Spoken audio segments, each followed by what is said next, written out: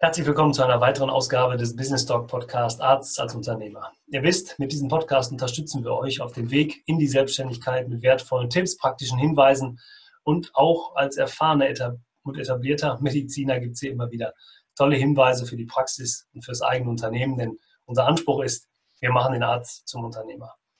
Und mein Name ist Oliver Neumann und ich begleite den Arzt bei allen wirtschaftlichen Fragen auf dem Weg zum Unternehmer in die eigene Praxis. Heute habe ich einen wirklich wieder besonderen Gast da. Ich habe immer nur besondere Gäste. Ähm, und zwar heute Dr. Christian Möcklinghoff. Er ist plastischer und ästhetischer Chirurg und Handchirurg aus Bochum.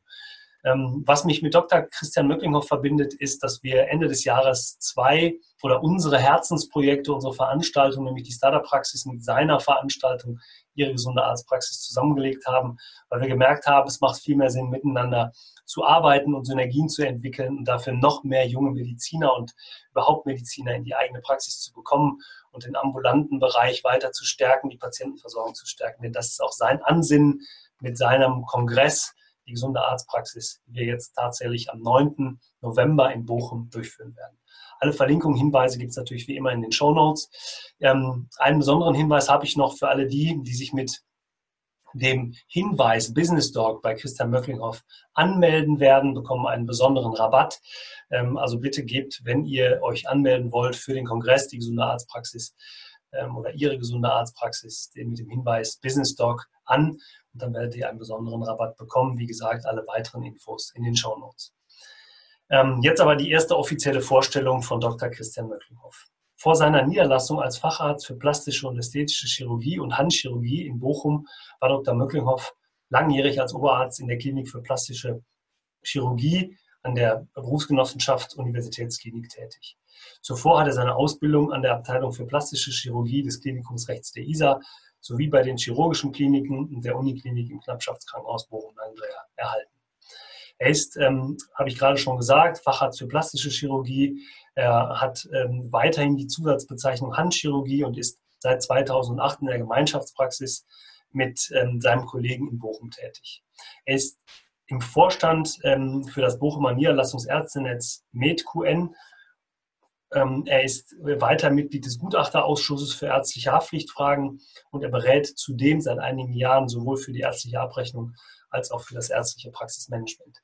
Christian Möcklinghoff ist unglaublich vielseitig, ganz authentisch, ein ganz, ganz lieber Kerl, ein ganz netter Mensch, aber eben auch ein toller, empathischer Arzt, der viel über seine unternehmerische Tätigkeit verrät, der ganz viel zum Thema des Kongresses berichten kann und der vor allen Dingen zeigt, wie man als Unternehmer auftreten kann und vielleicht auch immer die extra Meile geht, damit man, so wie er, nicht nur beruflich, sondern auch privat sehr erfolgreich ist. Also freut euch drauf auf ein weiteres Interview im Business Talk Podcast diesmal mit Dr. Christian Möcklinghoff. Wir hören uns gleich wieder.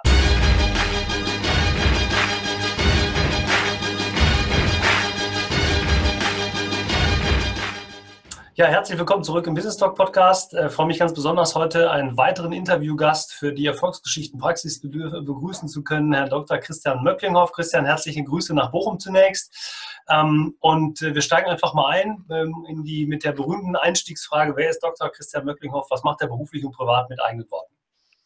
Ja, vielen Dank, dass ich dabei sein darf. Ich finde das Format spannend. Ähm, kommen wir später noch zu, zu meiner Person. Ich bin niedergelassener plastischer, ästhetischer Chirurg und Handchirurg in Bochum in einer Gemeinschaftspraxis mit einem Kompagnon nach einer langjährigen Kliniktätigkeit, wie das ja bei allen unseren Kollegen in der Weiterbildung so ist, ähm, dann vier 2008 niedergelassen und hier jetzt ähm, in erster Linie in der operativen Handchirurgie unterwegs. Das heißt, ähm, sehr, sehr viele Handerkrankungen, die bei uns hier seit 4 2008 ähm, operiert werden. Mhm. Das ist so mein tägliches Geschäft. Du bist in der Gemeinschaftspraxis mit einem Kollegen. Wie ist es dazu gekommen? Wolltest du das immer schon machen oder warst du eigentlich derjenige, der gerne auch alleine unterwegs ist? Das ist eine ganz spannende Frage, die du da stellst, als dass ähm, es eigentlich ganz anders geplant war. Mhm. Ähm, es ist so, dass äh, in den Köpfen vieler Ärzte in der Weiterbildung in den Krankenhäusern jetzt die Niederlassung nicht unbedingt äh, auf der Tagesordnung ganz oben steht. sodass äh, ich ursprünglich mal in meiner Weiterbildungszeit zum Facharzt auch darüber nachgedacht habe, ob man dann später mal in irgendeinem kleinen Krankenhaus eine mhm. kleine, überschaubare Abteilung dann möglicherweise dann als Chefarzt führt oder Abteilungsleiter führt.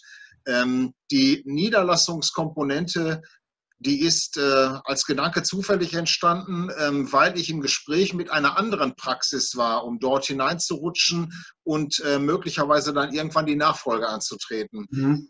Derzeit kam aber dann in dieser Praxis hier, wurde ein, einer der beiden Kassensitze in dieser Zweierpraxis hier vakant ähm, durch ähm, einen sehr unglücklichen Todesfall des damaligen Seniorkollegen und dann bin ich hier letztlich dann ähm, hineingerutscht. Mhm. Ja, und jetzt bin ich niedergelassen. Ja. Ja, das ist ja eigentlich immer ganz spannend. Deshalb stelle ich auch diese Fragen immer, ähm, um mal zu sehen, wie ist die Historie tatsächlich und wie kommt man in die eigene Praxis. Ähm, vielleicht noch mal zwei, drei Sätze privat. Du lebst in Bochum, bist äh, verheiratet. Äh, was machst du sportlich? Bist du äh, engagiert? Was, was tust du so?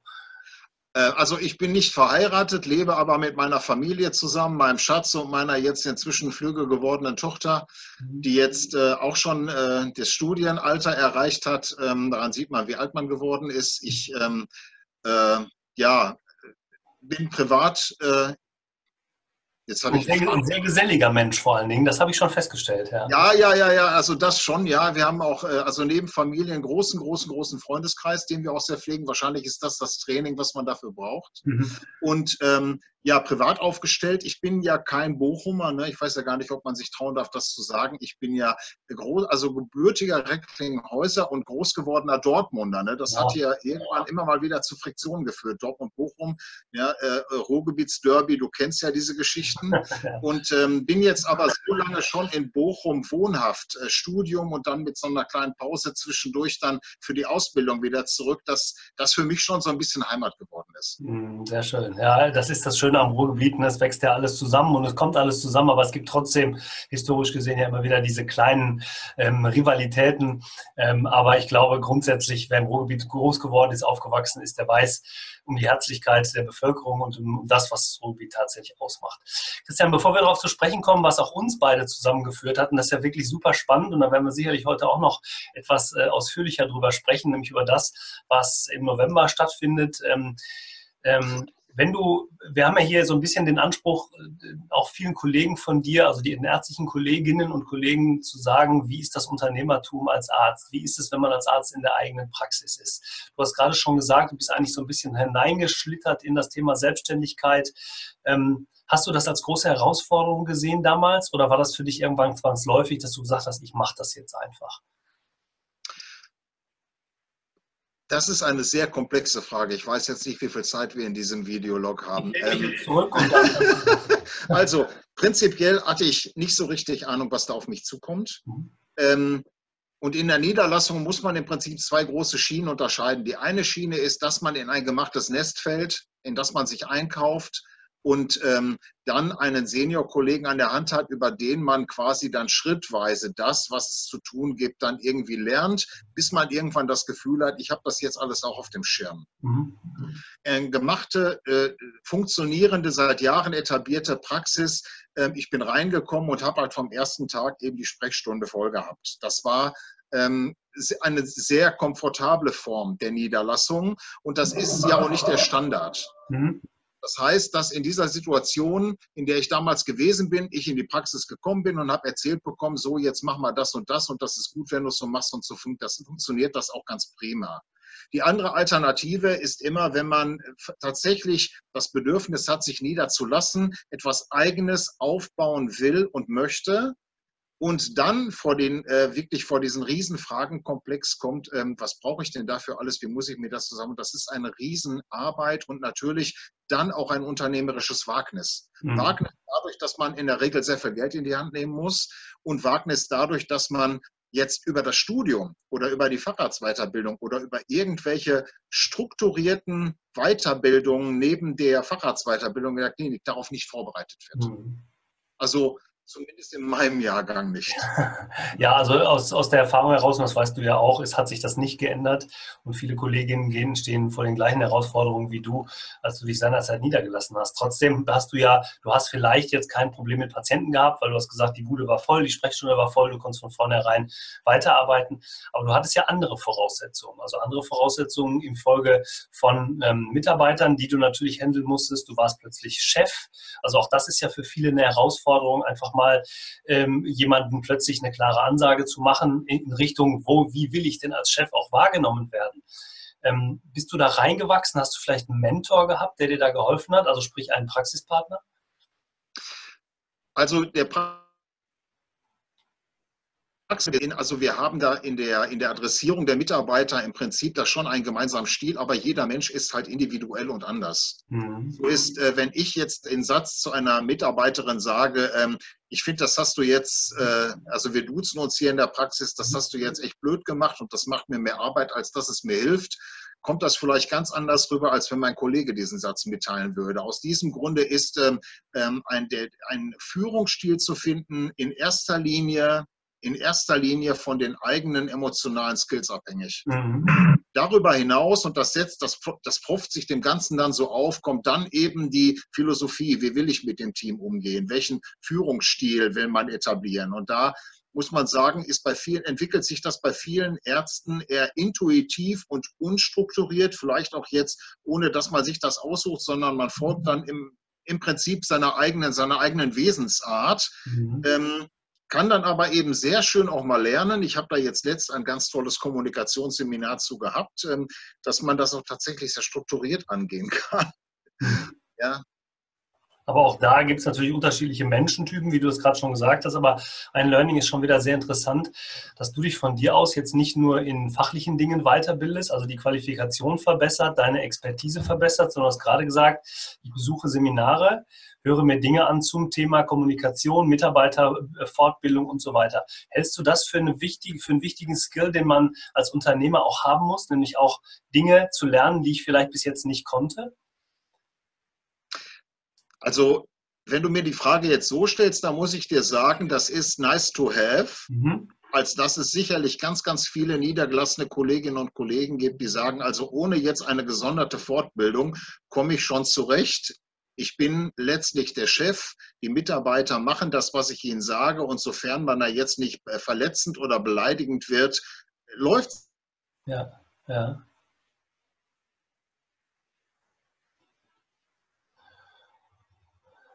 fehlende geringere Wertschätzung da ist, oder ob jetzt ähm, die Mitarbeiter dadurch, dass sie äh, angezählt werden, äh, diesen Frust oder diese, diese Anspannung an die Patienten weitergeben und somit quasi der ganze Brunnen so ein bisschen vergiftet wird. Ähm, mit guter Kommunikation, Klammer auf, auch das lernt man natürlich im Rahmen unserer Medizinerausbildung nicht, nicht mhm. standardmäßig, mhm. ähm, fluppt es besser. Mhm. Ähm, aber äh, wenn ich das jetzt mal aufgreife, du hast gerade gesagt, ja, einige Kollegen sagen, Mensch, das läuft auch so, ich übernehme das jetzt mal und ich mache das einfach so weiter und es lübt schon irgendwie. Aber das ist ja ein großer Unterschied zwischen dem, es läuft irgendwie oder ich möchte mich in meiner Praxis auch ähm, ähm, entwickeln. Ich möchte vielleicht meine, mein, mein Personal Branding, nenne ich es mal, daraus machen. Ich möchte gerne der Praxis meinen Stempel aufgeben. Also, dass die Patienten irgendwann tatsächlich sagen, ich gehe nicht einfach zum Handchirurgen oder ich gehe nicht zum plastischen Chirurgen, sondern wenn ich dahin will, dann gehe ich zu Dr. Christian Möcklinghoff und in diese Praxis, weil das ist mir ganz viel wert, weil die Mitarbeiter sind freundlich, ich bekomme da Termine, ich werde vernünftig behandelt, ich ich verstehe mich dann nicht nur als Patient und durchlaufender Posten, sondern ich werde als Mensch auch wahrgenommen. Das ist ja ein großer Unterschied. Und deshalb glaube ich, und das beweist du ja mit dem, was du tust, und dann schließen wir vielleicht jetzt den Kreis, den wir ganz anfangs mal aufgemacht haben. Du bist ja auch bemüht, das anderen Kollegen beizubringen, jetzt ein bisschen viel, aber äh, die Möglichkeiten zu geben, sich genau diese Skills anzueignen. Also von daher glaube ich, ja, ja, ja, das ist wertvoll, also, den nächsten Schritt zu gehen. Ja, das, das, das eignet sich. Ne? Hm. Hm. Ja, ähm, tatsächlich ist es so, dass ich der Meinung bin, dass ähm, wir alle, da beziehe ich mich immer noch mit ein, auch wenn ich ja jetzt so viele äh, Wissensthemen ähm, durchgearbeitet habe für diese gemeinsame Kongress oder für diese Kongressvorbereitung und unsere Kooperation, ist es dennoch so, dass unglaublich viel ähm, an Wissen erforderlich ist, um überhaupt erstmal zu verstehen, wie wenig man weiß. Mhm. Und das ist auch in der Kommunikation so. Und die, das Problem in der Kommunikation ist, dass dieser Anspruch, den man hat, in der Praxis genau dieses, diese Empathiebombe zu sein oder als Team diese Empathiebombe zu sein, dass die Patienten sich wie in ihrem Wohnzimmer fühlen, dass, sie, ähm, dass die Wertschätzung funktioniert, dass die Augenhöhe funktioniert, dass die emotionale Wärme dann auch ein bisschen mit rüberkommt. Das schadet ja in der ärztlichen Behandlung und Beratung nicht. Das ähm, ist unglaublich viel Arbeit und ich ähm, glaube, dass in vielen Praxen aus verschiedenen Gründen diese Arbeit nicht so investiert wird. Es gibt sicherlich Praxen, ähm, die da sehr vorbildlich sind. Ganz mhm. bestimmt. Es gibt sicherlich auch Praxen, die den Anspruch haben, das zu tun, wo man aber die Feedback-Schleifen nicht hat. Die mhm. Feedback-Schleifen, weil die Patienten einem möglicherweise eben nicht kommunizieren, wenn es mal nicht so funktioniert, wenn man nicht mitbekommt, wie Ärzte, äh, wie, wie die Mitarbeiter mit dem Patienten umgehen, weil man mit seinem eigenen Tun in seinem Sprechstundenzimmer oder im OP eben total beschäftigt ist und nicht mitbekommt, was dann möglicherweise an Aggressivität oder Unzufriedenheit so dann mitschwingt, weil man es nicht mitbekommt. Und sicherlich die dritte Gruppe, ähm, die dem Ganzen nicht diesen Wert bei, äh, beimisst. Ich glaube aber persönlich, dass diese dritte Gruppe immer kleiner wird. Mhm. Wenn du jetzt ähm, sagst, ähm, die Wertschätzung äh, Patienten, Wertschätzung Kollegen und so weiter, nutzt du da etwas? Kannst du da ein Beispiel geben? Also bist du, gehst du aktiv auf Patienten zu? Befragst du deine Patienten, Zufriedenheit und so weiter? Oder wie, wie handelt ihr das? Ja, wir haben, also wir sagen ja alle Niedergelassenen und tun ja auch alle Niedergelassenen in gewisser Weise, wir haben QM-System. Wir haben QM-System und dieses QM-System sieht natürlich solche Feedback-Schleifen vor und wir haben Patientenbefragungen schon gemacht, wir haben Zuweiserbefragungen gemacht und wir haben als eine ganz, ganz große Schiene natürlich auch die Arztbewertungsportale und die Rückmeldungen, die da kommen. Und mhm. ähm, diese Patienten schubsen wir auch relativ also wir zwingen sie nicht, aber wir schubsen sie dann im Laufe der Behandlung irgendwie dahin, um dort auch ihre Meinung kundzutun. Und das machen ja. sie natürlich ähm, äh, unkritisiert und unzensiert. Ja. Und diese Rückmeldungen, die man da bekommt, die geben einem schon das Gefühl, dass das mit der Empathie funktioniert. Mhm. Und wie setzt man das in der Praxis um? Ich glaube, dass viele, viele Ärzte insgeheim viel empathischer sind, als sie sich selber das möglicherweise denken. Und ähm, da gar nicht so aktiv gar nicht so aktiv drauf stoßen, weil sie in dem, in dem medizinischen auch sehr, sehr gefangen sind und natürlich auch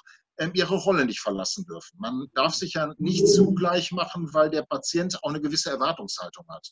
Aber in einer Praxis sich dann einmal in ein, in ein volles Wartezimmer zu setzen, sich unter die dort wartenden Patienten zu setzen und dort mit ihnen zusammen sitzen, dann zu erklären, passen Sie mal auf, hier ist es gerade super voll haben Sie bitte Verständnis, wir werden Sie alle versorgen. Sind ein paar ähm, oh, Notfälle, kann man nichts nicht sagen, äh, ohne Terminpatienten dazwischen gekommen.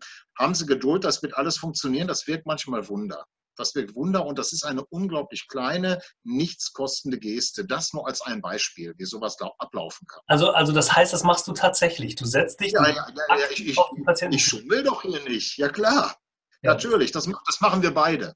Ja, aber das ist ja, das ist, das ist ja, eine, wie du gerade sagst, eine ganz, ein ganz einfaches Mittel, um ganz ähm, um auch einen Druck rauszunehmen aus so einer Situation, die vielleicht eskalieren kann, wenn Patienten sich in, in dem Moment vielleicht wirklich ungerecht behandelt fühlen, weil sie etwas länger warten müssen. Also für alle, die, die zugehört haben, äh, von einem sehr, sehr erfahrenen ähm, Kollegen, geht einfach aktiv auf eure äh, Patienten zu und sich ins Wartezimmer zu setzen. Höre ich tatsächlich zum ersten Mal, aber ähm, ganz einfach und wieder was dazugelernt heute. Christian, ähm, wir, wir haben ja, wir haben uns ja kennengelernt über ähm, unser, unsere Idee, etwas für das für die Zulassung und für die ambulante Versorgung in der Zukunft zu tun. Ähm, äh, die Zuhörer wissen um unsere Veranstaltung Startup Praxis, die wir im Juni eigentlich machen wollten, jetzt auf November verschoben haben. Und dann ist uns aufgefallen, dass jemand in Bochum zeitgleich mit uns eine ganz ähnliche Veranstaltung durchführen möchte. Und das bist du gewesen. Oder das bist du nach wie vor. Und ähm, erzähl doch mal von dieser Idee. Wie hast du, warum hast du und wie hast du deine Idee von der ähm, gesunden Arztpraxis entwickelt und was ist der Hintergrund für diesen Kongress, der jetzt, glaube ich, zum zweiten Mal in diesem Jahr stattfindet? auch, auch da. Du kannst erzählen. Ja, ja super, super, super. Also, ähm, also prinzipiell ist es so, dass ich diese Frage, die du mir jetzt stellst, nicht zum ersten Mal bekomme, nach dem Motto, Möcklinkhoff, warum tust du dir denn das bitte neben der Praxis an? Ähm, also die, die, die Geschichte, die dahinter steckt, ist die, dass ich vor drei, vier Jahren auf einer der Zugfahrten, ich bin als Referent im Thema Abrechnungen häufiger mit dem Zug unterwegs, ähm, mich an meinem Notebook sitzen gelangweilt habe und dann äh, in der, in der, im Internet gegoogelt habe, was zum Thema, ähm, wie führt man eine Praxis gut und souverän und effektiv und äh, effizient ähm, gegoogelt habe. Und habe im Rahmen dieses Googlens festgestellt, dass, ähm, es ein, dass es keine Veranstaltung in Deutschland gibt, die wirklich versucht, alles, was für die Praxis relevant und wichtig ist, und jetzt in der eigenen Vorbereitung unseres Kongresses, du kennst das Programm, äh, sind da inzwischen über 60 Themen rausgekommen, 60 Themenkomplexe rausgekommen, diese Dinge alle zu kommunizieren. Und dann habe ich mir überlegt, das kann doch nicht sein, dass ich als Dr. Möcklinkhoff im Zug jetzt feststelle, dass es das nicht gibt und dass die niedergelassenen Ärzte zwar viele, viele Fortbildungen zum Thema gesunder Praxisführung, Praxisoptimierung, Praxismanagement besuchen können, aber dass man sich das alles in Bausteinen zusammensuchen muss. Und dieses Zusammensuchen in Bausteinen bedeutet letztlich viel Zeit aus der Praxis herauszuschneiden, bedeutet auch Themen doppelt und dreifach zu passieren, weil die halt immer wieder frei miteinander kombiniert sind. Natürlich dafür immer viel Geld äh, äh zu investieren. Und dann habe ich mir überlegt, das muss doch möglich sein, dass alles in einem Schlag, in einem Rutsch zu bekommen, so dass ein niedergelassener Arzt oder eine niedergelassene Ärztin sich ein Freitag-Samstags-Paket freinimmt. Die Praxis zuzumachen bedeutet für Niedergelassenen ja immer äh, schon mal per se eine ja. Umsatzeinbuße und dann zu sagen, an den beiden Tagen bekommt ihr alles beigebracht. Und das ist dann Jahre ist das wie ein Curriculum. Kannst du dir durchaus so vorstellen, auf meinem Notebook als Word-Datei immer weiter gewachsen. Und irgendwann hat mich dann mein Schatz angeschubst und hat gesagt, also wenn du das jetzt nicht langsam mal anfängst und tatsächlich auch machst, dann kannst du da irgendwann deine Memoiren draus basteln. Hat sie recht gehabt. Und daraus hin, und deswegen ist es kein zweiter Kongress, habe ich im letzten November hier in Bochum ein, äh, so ein Pilotseminar draus gemacht. Mit einer kleineren Themenauswahl, aber dem gleichen A bis Z-Konzept und habe das mit äh, voll ausverkauft mit 45 ärztlichen äh, und ähm, Teilnehmern und Teilnehmerinnen ähm, absolviert, habe sehr, sehr gutes Feedback bekommen und dann entschieden, ich bastle einen Kongress draus. Okay. Und der ist eben jetzt im November diesen Jahres. Ja. Also erstmal ist dein, dein Engagement und deine Idee dazu, ich kann das ja jetzt sagen, weil wir, wir arbeiten ja jetzt ein paar Wochen erst, aber eben auch schon zusammen für, für das gemeinsame Projekt. Also für alle die, die es bis jetzt noch nicht richtig ähm, durchdringen konnten, wir werden unsere beiden oder wir haben unsere beiden Veranstaltungen zusammengelegt. Ähm, wir wollen ja die Startup Praxis am 9. November ähm, durchführen und du deine Veranstaltung ja von dem, ähm, ich glaube mittlerweile 8. und 9. ist das richtig oder findet am 7. ist, äh, ist auch noch, glaube ich, eine, eine Veranstaltung, kannst du ja gleich nochmal sagen. Und wir werden jetzt die Veranstaltung in der Veranstaltung gemeinsam in Bochum durchführen, ähm, sodass wir auch ähm, eben unser gemeinsames Ziel, also mehr Kollegen in die oder mehr Ärzte in die Praxis zu führen und dann eben auch ein, ein Servicekonzept anzubieten und ein Gesamtkonzept anzubieten, von dem alle wirklich profitieren können. Und äh, was, wie wir jetzt mittlerweile ja festgestellt haben, in Deutschland wirklich eine einzigartige Veranstaltung wird. Ähm, also auf der einen Seite alles das, was mit der Praxis zu tun hat, in deinem Kongress mit Ausstellungen, mit Möglichkeiten der Präsentation, mit B2B, aber eben auch mit super interessanten Workshops und Vorträgen bei dir. Ähm, wir werden übrigens alle Verlinkungen nochmal in die Shownotes machen. Ähm, sowieso auch Kartenkontingente, Verkauf, ähm, die Möglichkeit, mit dir Kontakt aufzunehmen. Ähm, du hast, glaube ich, deinen dein Veranstaltungsplan in einem PDF äh, für, zusammengefasst. Das werden wir auch mit verlinken, sodass alle Informationen zu der Veranstaltung damit drin sind. Ähm, und wir werden dann eben parallel Startup Praxis im TED-Format mit unseren äh, zehn Vortragenden äh, machen und ich glaube wirklich eine einzigartige Veranstaltung in, in Deutschland präsentieren. Und ähm, ja, wir freuen uns darauf und das ist, äh, irgendwie habe ich so ein bisschen das Gefühl, ähm, wir sind da zusammengeführt worden. Also ähm, wo, woran, woran liegt es denn, dass du sagst, ich möchte gerne wirklich etwas tun für die jungen Kollegen, die das so in der Form noch nicht angeboten bekommen haben? Du hast es gerade schon gesagt. Warum macht ein Dr. Christian Möcklinghoff das? Also der, der prinzipielle Gedanke, der dahinter steckt, ist ähm, möglicherweise doch ein bisschen ähm, Egoismus und Narzissmus, als dass ich ähm, gemerkt habe, dass man bei diesem Thema tatsächlich etwas bewegen kann. In Kombination mit einem, einem Projekt, was man ähm, äh, jungfräulich aus den Angeln hebt. Das heißt, ähm, etwas zu machen, was es in der Form noch nicht gibt. So ein Premiere-Konzept zu entwickeln, finde ich extrem spannend und finde ich auch mit diesen, äh, mit dem, mit allen Themen und mit allen Ausstellern und den Referenten und den Fortbildungen, die ich mir selber jetzt angetan habe, um auf diesen Wissensstand zu kommen. Ich habe unglaublich viel selber durch diesen Kongress gelernt und ich bin der festen Überzeugung, dass äh, andere niedergelassene Kollegen oder niederlassungswillige Kolleginnen und Kollegen Anspruch darauf haben, in einem solchen kompakten Ding einen solchen äh, eine solche Übersicht über diese Themen zu erhalten, um überhaupt selber die Entscheidung treffen zu können. Will ich das und kann ich das? Mhm. Ist, ähm, ich sage das, das, man rudert in einem Boot, man ist in der Facharztweiterbildung und lässt sich dann so ein bisschen strömen. Möglicherweise hat man Paddel verloren oder beide Paddel verloren und äh, stößt dann irgendwo ans Ufer und steigt dann irgendwie aus. So kommt mir das alles so ein bisschen vor. Und ich glaube, dass die Niederlassung, und das ist das ganz, ganz große Oberthema, ähm, attraktiver ist, als sie dargestellt wird, dass man weniger Angst vor der Niederlassung haben muss, als man mit jetzt, oh Gott, da muss ich mehrere hunderttausend Euro Geld aufnehmen und ich habe doch gar keine BWL-Ausbildung gemacht und wie soll ich das Unternehmertum, wie soll ich das alles schaffen, Personalverantwortung und so weiter und so weiter. Das ist alles kein Zauberwerk und das soll dieser Kongress kommunizieren. Der spricht ja eben, und deswegen ist unser, unsere Kooperation tatsächlich mehr als eine Synergie. Der spricht sowohl die Niederlassungswilligen als auch eben die Niedergelassenen an, die in ihrer Praxis sitzen, vielleicht auch so ein bisschen über die Jahre in die Betriebsblindheit gerutscht sind oder nicht die Möglichkeiten hatten, auf aktuellem Stand zu bleiben, um mhm. eben zu zeigen, so, das ist jetzt State of the Art. Bin ich noch fit mit dem, was ich brauche oder nicht? Darüber mhm. hinaus haben wir eben in diesen Kongress integriert eine, eine MFA-Fortbildung für, für die Praxisteams über zwei Tage, auch mit so einem Hammerprogramm, so einer Druckbetankung von 15 oder 16 Themengebieten. Und darüber hinaus das äh, habe ich dir ja schon kommuniziert. Das ist eine ganz neue Idee, die ist vier Wochen alt. Haben wir auch Kontakt aufgenommen mit mehreren Medizinfachschaften und dem BVMD, also dem Bundesverband der medizinischen Fachschaften, und möchten auf dem Kongress das Thema Niederlassung als Plan B zur Klinikkarriere bis 67 auch Medizinstudenten der klinischen Semester beibringen. Also das ist jetzt, hat sehr viele Ebenen bekommen. Ja, das ist super. Das ist ja genau der Ansatz und deshalb freue ich mich wirklich ta tatsächlich auch so über diese Kooperation. Und ähm, wir, wir haben ja auch gesagt, wir wollen fürs nächste Jahr dann noch enger zusammenrücken und mal gucken, was wir im nächsten Jahr daraus machen können. Wir haben uns einfach in diesem Jahr zu spät getroffen.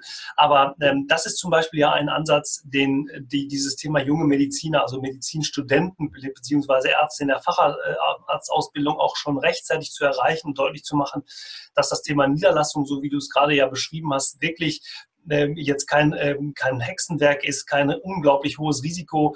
Wir, wir gehen mittlerweile dazu über, auch in der Beratung mal so einen, so einen Vergleich zu machen. Karriererechner nennen wir das. Also inwieweit, was habe ich denn, ähm, wenn ich die nächsten, ich sag mal, 10, 15, 20, 25 Jahre in meiner Karriere weitermache oder wie kann ich das parallel mal berechnen, wenn ich vielleicht ähm, den Durchschnitt aller, aller Fachärzte nehme mit in der Facharztgruppe, in der ich mich befinde und einfach mal die Möglichkeit aufzeige, was kann ich denn da tun, uns auch am Zahlen mal zu belegen. Glaubst du, du, dass es notwendig ist, dass schon in der Ausbildung der Mediziner ein solcher, ja, ich sag mal, Teilsemesterabschnitt, ein, ein Ausbildungs- oder eine Möglichkeit gibt, mehr zum Thema Niederlassung zu erfahren? Sollte das in die Ausbildung der Mediziner rein?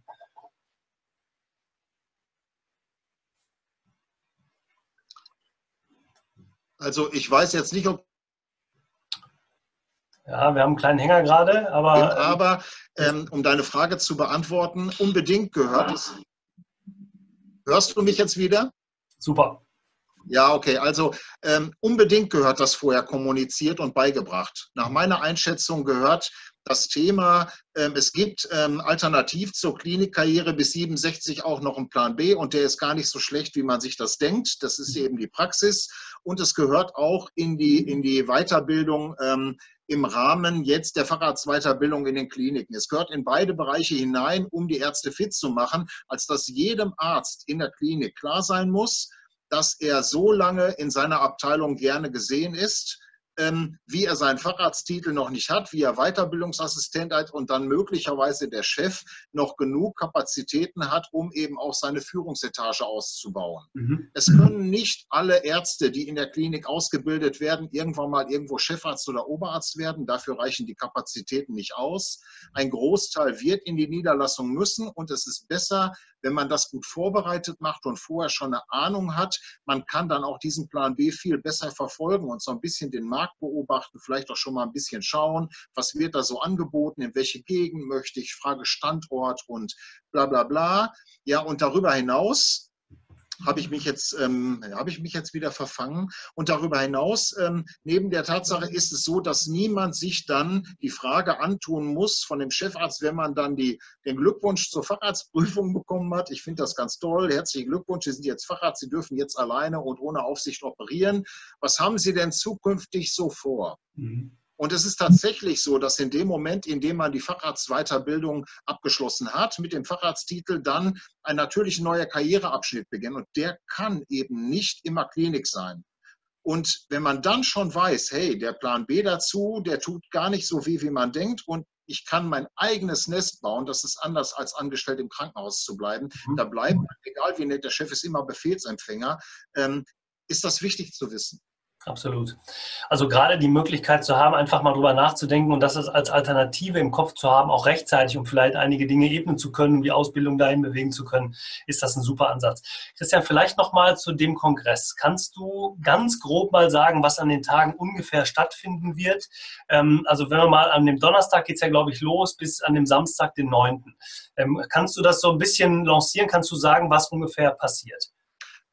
Ja, gerne, gerne. Also das, ähm, du hast jetzt drei Tage benannt. Es ist so, dass wir dem eigentlichen Kongress, der Kongress ist ganztägig Freitag 8.11. und mhm. Samstag 9.11. noch einen Workshop-Tag vorgeschaltet haben, an dem wir ähm, im Feedback der Leute, die sich dann für diese Themen interessieren, dann entschieden haben und entscheiden wollten, welche Themen wir dann in einer größeren Tiefe darstellen. Mhm. Der Kongress dann am 8.11. und am 9.11., der wird insgesamt inzwischen nun über 60 Themen zur alles rund um die Niederlassung beinhalten. Da sind dann verschiedene Spezialpanels dabei ähm, zum Thema IT und, äh, äh, und, und äh, IT-Sicherheit und Datenschutz, ähm, Hygiene, ein äh, Reanimationsnotfallbehandlung in der Praxismodul, äh, Qualitätsmanagement, ähm, ein Diskussionspanel, ähm, was inzwischen sehr, sehr schön besetzt ist zum Thema Zukunft der Arztpraxen in Deutschland. Das findet am Freitag statt. Das wird moderiert werden von der Frau Birgit Fischer. Ähm, als Gast ist äh, geladen der Staatssekretär Dr. Heller aus dem äh, Ministerium für Gesundheit in äh, NRW aus Düsseldorf. Ähm, wo wir dann mit verschiedenen Spezialisten, auch mit Medizinstudenten, mit jungen Ärzten in der Facharztweiterbildung darüber diskutieren möchten, was wie, wo wird die zukünftige Rolle der Arztpraxen in Deutschland sein, wenn wir jetzt mal das KV-System nehmen? Und welche Anforderungen haben diese jungen Ärzte und jungen Medizinstudenten, Klammer auf Generation XYZ, mhm. ähm, an eine Niederlassung, um das überhaupt als einen für sie attraktiven Plan zu haben? Denn dass ich das schön finde, ist gut und schön, aber ich habe ein ganz anderes Lebenszeitmodell gelebt und ähm, kann aus diesem Grunde jetzt mit dieser Work-Life-Balance einfach nicht mithalten, die aktuell äh, Wunsch ist und die natürlich auch umgesetzt werden soll. Mhm. Diese Geschichten. Darüber, darüber hinaus ähm, eben noch eine Fachausstellung, auf die bin ich inzwischen auch sehr stolz von, glaube ich, inzwischen über 100 Ständen an, äh, verteilt über die beiden mhm. Tage damit eben zu möglichst jedem Thema auf dem Kongress auch ein, ein Ansprechpartner in der Ausstellung ist, wo man sich dann nochmal nachträglich schlau machen kann. Ja. Ähm, an dem Samstag, kannst du sagen, was an dem Samstag stattfinden wird? Ja, am Samstag, ähm, ja, am Samstag ist, läuft äh, das reguläre Programm zum Kongress auf zwei, in zwei Vortragssälen. Mhm. Darüber hinaus ist am Samstag ja in wunderbarer Weise ähm, euer Start-up Praxis in einem großen Saal. Die haben da entsprechend die Räumlichkeiten und die Vortragssäle ähm, schön aufteilen können, erfreulicherweise. Mhm. Darüber hinaus noch in einem, äh, an einem anderen Saal eben den, das äh, zweite Tagesprogramm für die MFA-Fortbildung.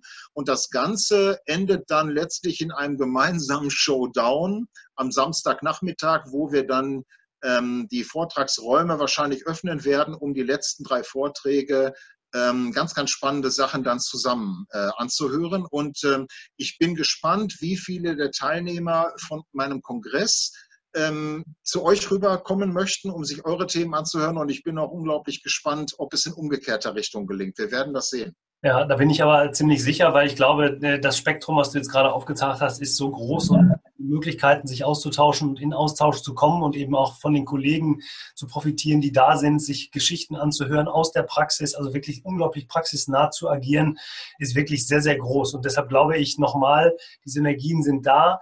Äh, wir werden nochmal die Verlinkung natürlich reinnehmen. Wir werden die Möglichkeit haben, sowohl deine Kongressteilnehmer bei uns mit einzubeziehen, aber eben auch die, die, die Startup-Praxisbesucher bei dir mit einzubeziehen. Da gibt es besondere Möglichkeiten und Ideen, also jeweils zu finden auf den jeweiligen Homepages, beziehungsweise auf den Internetseiten, beziehungsweise auf den unten in den Shownotes ähm, drangegebenen äh, Verbindungen. Ähm, Fortbildungspunkte gibt es ähm, auch. Jetzt hat Herr Möcklinghoff gerade abgeschaltet, das kann ich aber schon mal sagen. Fortbildungspunkte gibt es auch. Da ist er wieder. Herzlich willkommen, du warst kurz weg. Ich hatte gerade gesagt, Fortbildungspunkte gibt es auch. Ähm, du hast also ja, ähm, ich glaube, 13 Fortbildungspunkte bekommen. Wir sind gerade auch in der Beantragung, also so dass das Ganze eben auch eine Zertifizierung bekommt und den Leuten eben auch ähm, die ja. Möglichkeit gibt. Ja, ja, ja, okay. Ne? So, bist du jetzt wieder da? Nein, im Moment noch nicht. Ähm, dann kann ich vielleicht noch mal eine Sache ähm, anstoßen. Wir, ähm, wir werden eben die Verlinkung, also auf die, die jeweiligen Seiten machen, habe ich gerade gesagt. Da ist er wieder. Bist du? Äh, ja, ich bin wieder da, aber es, ja. Du darfst. Kannst du mich hören? Ja, ich kann dich hören. Jetzt ist dein Bild wieder da. Okay, alles klar, wunderbar. Also ich hatte gerade noch mal den Hinweis gebracht zu den Fortbildungspunkten, dass du ja Fortbildungspunkte auch bekommen hast. Wir dabei sind jetzt, diese zu beantragen, damit wir da gemeinsam auch für die, für die Mediziner eben auch noch was für, die, für den Fortbildungsstand tun können. Ähm, also so, so weit mal zur Veranstaltung, ähm, die, wir, die wir da gemeinsam geplant haben. Ähm, ist das, kann man das sagen, ist das so ein bisschen deine Mission? Also neben dem, neben der Patientenversorgung, neben dem, was du tust für deine Praxis, darüber hinaus auch, ich sag mal, ein bisschen was zurückzugeben an die, an die Mediziner, an die Ärzte? Also, also Mission, das ist mir jetzt gerade zu pathetisch. also Mission ist mir zu pathetisch, aber es ist tatsächlich so, ich habe gemerkt, da ist, eine, da ist ein Loch, da ist eine Lücke. Ich habe gemerkt, dass ich ähm, die Zeit und die, ähm, die, die Kapazitäten und hoffentlich auch das Wissen habe, um diese Lücke zu schließen. Und ich möchte gerne meinen Teil dazu beitragen, um ähm, dieses Fitmachen für die Arztpraxis einfach so ein bisschen mehr ähm, in verschiedenen Fortbildungssystemen und vielleicht auch curriculär im Studium zu verankern. Mhm. Ein Teil der Idee, Medizinstudenten auf den Kongress zu holen, die ihren eigenen ähm, Fortbildungssaal haben, wo die so ein dreistündiges Panel zu dem Thema haben, ist ja auch mit ähm, den Fachschaften und mit den Fakultäten hier. Der Universität Wittenherdecke, die ist äh, angesprochen, und ja. der Ruhr Bochum, ich musste das ja so ein bisschen begrenzen, ähm, mit denen dann auch zusammen darüber zu diskutieren, was da zukünftig möglich ist. Ich weiß, dass es Bestrebungen an anderen Medizinfakultäten in Deutschland schon gibt, ähm, ein solches Wissen zu vermitteln, aber dass dieses Wissen, ähm, das muss vermehrt werden. Das muss vermehrt werden und es muss intensiver beigebracht werden. Und das darf nicht mit dem dritten Staatsexamen enden, Wissen dann letztlich wieder verloren geht bis zu dem Zeitpunkt, wo ein Arzt dann ähm, niederlassungsreif ist. Da vergehen ja manchmal sechs bis zehn oder mehr Jahre in dem Zwischenzeit. Da ist ja, da hat die Erde ja sich schon 500.000 Mal weitergedreht. Also ja. ähm, da ist viel zu tun. Eine Mission würde ich das jetzt nicht nennen, aber es macht unglaublich Spaß. Ja auch wenn du es nicht Mission nennst, ich würde gerne bei dem, lass es uns sagen, das ist ein großes Projekt von dir, weil ich glaube einfach, wenn man, wenn man dich jetzt kennengelernt hat und auch in dem kurzen Interview bis jetzt, wird schon ziemlich deutlich, welche Leidenschaft wirklich dahinter liegt. Denn es ist ja kein monetärer Grund, du machst es ja nicht, um Geld zu verdienen, sondern du machst es ja, um etwas weiterzugeben. Ist das ein Teil deines Verständnisses vom Unternehmersein, ähm, dass ich sage, ich gehe vielleicht immer die Extrameile, ich mache ein bisschen was mehr und ähm, deshalb bin ich auch vielleicht aus deiner Sicht erfolgreich? Wieder so eine schwere Frage. Ne? Es ist ein Teil, ja, das ist, es ist ein Teil Unternehmertum, völlig richtig. Es ist ein Teil Unternehmertum und es ist für mich ein schöner Gegenpol zu den Operationen, zum was in der Regel ein sehr handwerkliches Tun ist. Mhm. Ähm, mein, groß, mein großer, großer Benefit, neben vielleicht jetzt diesem auch so ein bisschen stolz darauf zu sein, das anzustoßen und ähm, vielleicht ein Teil von einer äh, neuen Entwicklung zu sein, die ähm, den Medizinstudenten einfach mehr Wissen vermittelt, ist ähm, der Benefit für mich, dass ich unglaublich viel über die Niederlassung gelernt habe, unglaublich viel gelernt habe, was ich vorher nicht wusste, obwohl ich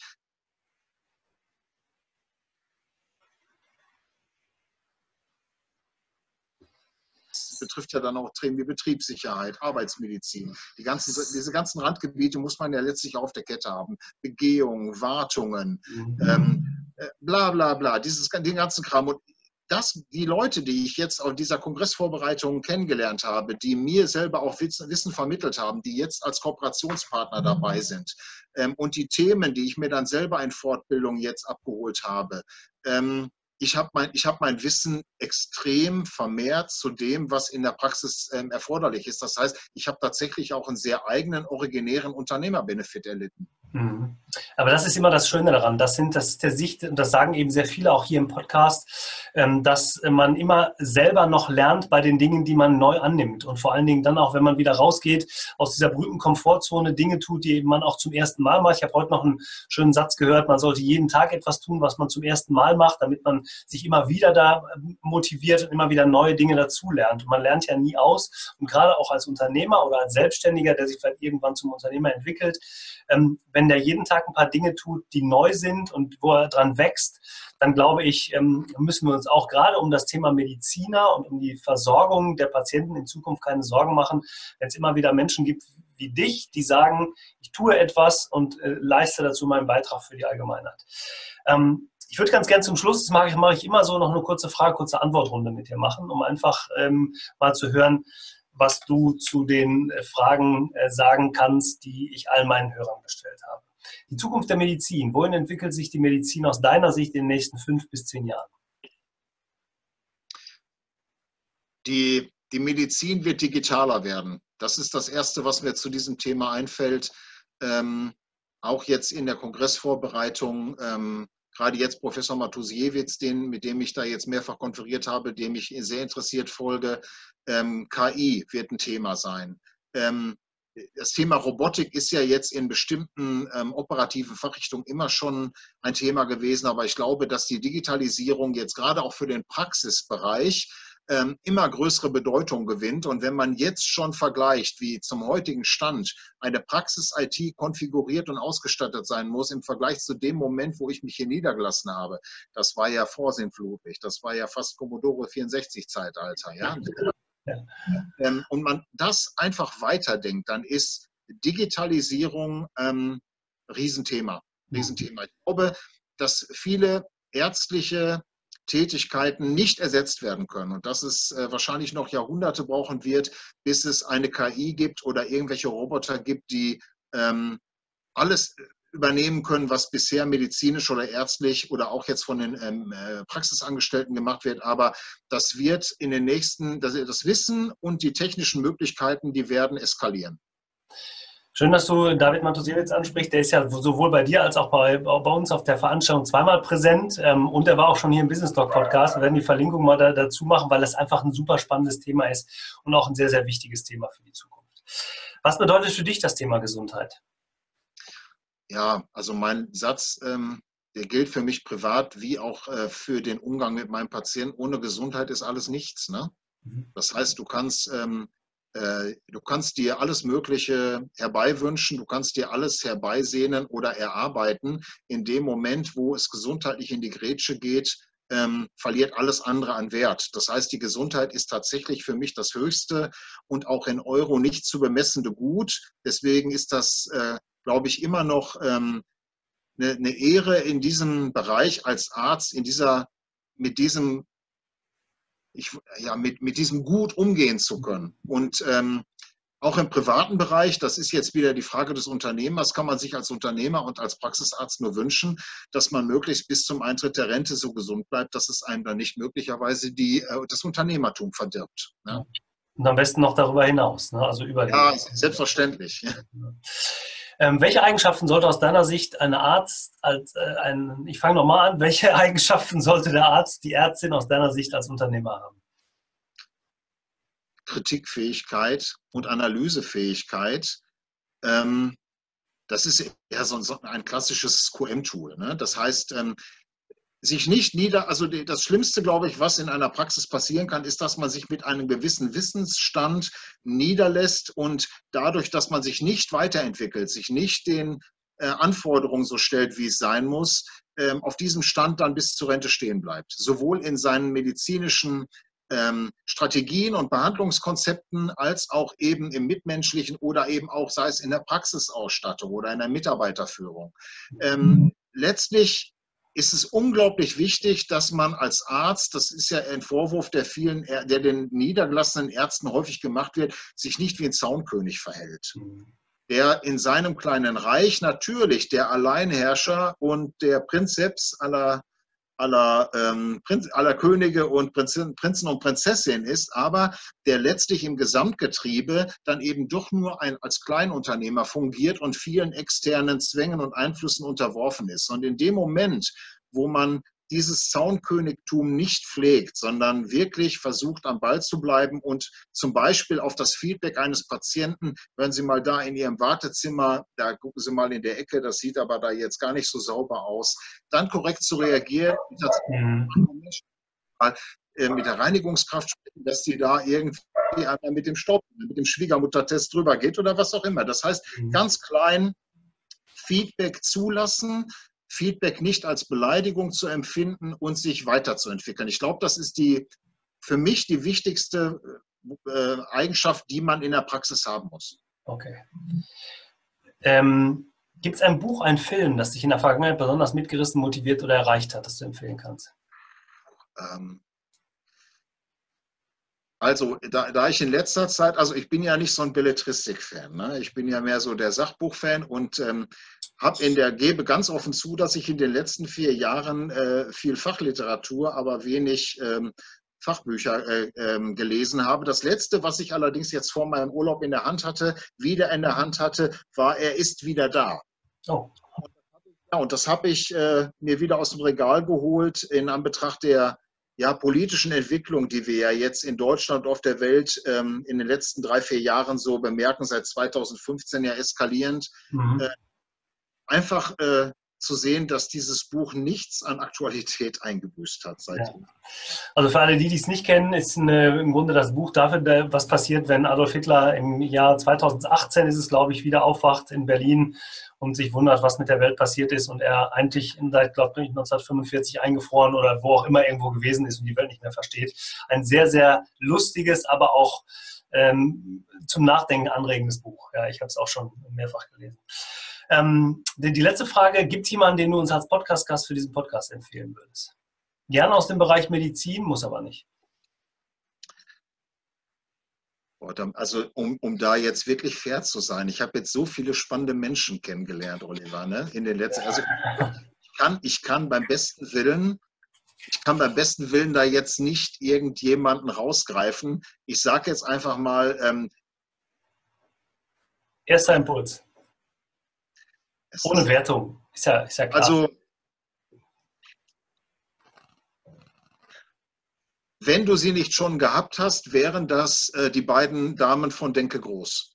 Die hatte ich natürlich schon, die waren schon ja. da. Da fällt ja noch jemand ein und dann können wir vielleicht im Nachgang nochmal eine Verlinkung. Ja, es, also wenn mir noch jemand einfällt, melde ich mich. Oder wir nehmen jemanden, der auf Kongress auftaucht und den wir dann da ansprechen. Einverstanden. Christian, ganz, ganz lieben Dank für deine Zeit, für die Einblicke in dein Leben, in deine Praxis, in dein Unternehmertum. Aber natürlich freue ich mich ganz besonders, dass wir auch zueinander gefunden haben und wir gemeinsam die, ähm, unsere beiden Veranstaltungen jetzt Ende November oder Anfang November in Bochum im Merkur Hotel durchführen werden. Das wird eine super Veranstaltung für alle, die die Interesse an den Veranstaltungen haben, in die Shownotes gucken, auf unsere Internetseiten gehen und dann äh, wird alles möglich und dann lernen wir uns auch mal persönlich kennen. Also nicht nur wir beide, sondern die Teilnehmer meine ich jetzt natürlich. Ne? Ja, vielen Dank.